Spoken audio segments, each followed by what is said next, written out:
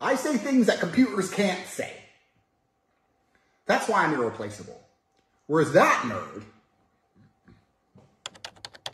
he could probably get Chat GPT to talk to his wife, and she wouldn't notice.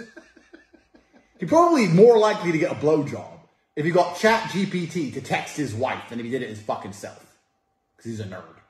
I'm not a nerd. I'm the top G. So when you're a basic loser, you have to be afraid of AI because it can replace you.